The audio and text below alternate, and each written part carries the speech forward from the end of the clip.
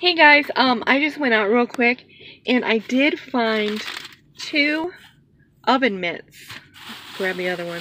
That were brown dot. I went to a store that was really messy. There's the other one, it's in there. And it rang up for a penny and I got two.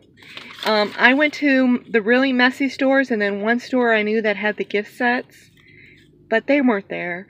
But um, I found this Hanes pullover and then that rang up a penny as well. So there you go.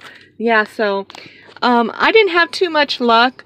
I went to some stores that were really, really messy, and I think that that's where I found the majority of this stuff because I feel like maybe they don't care. I don't know, but um, yeah, I would avoid the really, really neat stores possibly because those managers seem to really care. But I just wanted to show you. I went out for just about an hour at 10 a.m. and I was still able to find some. So um, I feel like for an hour's of work searching, pretty good for the Hanes because my husband can wear that in the wintertime. So I just thought I'd share real quick. They are confirmed pennies.